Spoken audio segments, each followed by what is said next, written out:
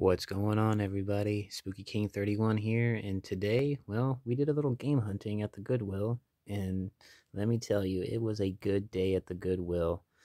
I really wish I could have recorded in there. They were just they were just so busy in there. Just a bunch of people, and I just I don't know, I felt a little awkward like filming in there, but man, I wish I did because they had they had PS4 games, Xbox 360, PS2, Wii and a Wii U game. I mean, they had quite a selection of stuff, and they weren't all just kind of bad sports titles, you know? They were actually a decent variety to choose from, and I was really, really pleased with that because my local Goodwill kind of kind of sucks in all of all honesty like I don't know. They just they hardly ever have video games. What what they do is just like sports titles of like Xbox 360 games, and uh, I'm probably gonna get a hate on this, but I'm not a huge Xbox fan, so I just I've never really collected for Xbox or even really played any Xbox. So, but anyway, let me go over. We got a stack for you guys to go over here. So first off, we have for the PS3 Batman Arkham City. Never played this game, but I've heard good things. Next up, uh, Telltale series The Walking Dead. Once again, heard great things. Never played it, but we have the chance to now. Next up, Fallout New Vegas for the PS3, and I'm sure a lot of people have heard great things about this as well.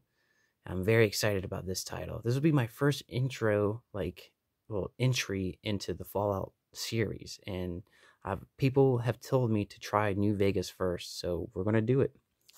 And then last up here, we have Robotech Battle Cry for the PS2 and I'm not sure if that's a rare game or an expensive game or anything. I just I've I've seen it around, like I've seen a couple videos on YouTube about it. Just it's it's a it's a fun like mech type fighting game. So I'm like, okay, why not? You know, I mean, all these were three ninety nine. All these games were three ninety nine. They have a set price at the local Goodwill here at three ninety nine for video games. I mean, I wish they were two dollars. There's this other thrift store here that uh, they have games at a set price at two dollars, but that one really, really is just not the good selection for games. It's like uh, just bunch of just nonsense fillers and sports titles. But I did find the Sims two, uh, the Sims Castaway for the PS2 there for two dollars one time. So that was that was pretty cool.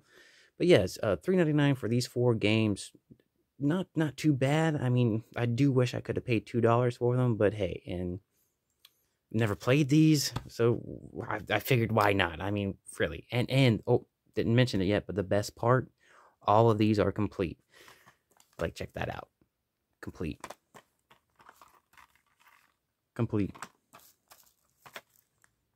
Complete. And guess what? That's right. Complete. So yeah, I, my opinion, definitely worth the 16 bucks. I mean, come on, why not?